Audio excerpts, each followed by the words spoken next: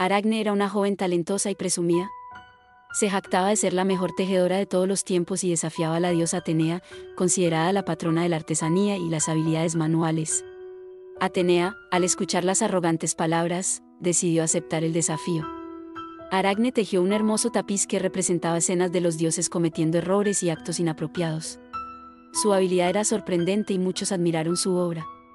Por otro lado, Atenea tejió un tapiz en el que mostraba escenas de los dioses realizando actos benevolentes y sabios.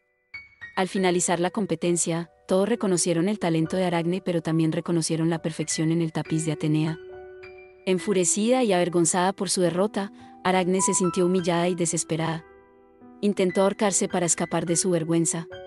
Sin embargo, Atenea intervino y la transformó en una araña antes de que lograra su cometido. De esta manera, quedaría atrapada en su arte para siempre, tejiendo telas perfectas y delicadas como lo había hecho en vida.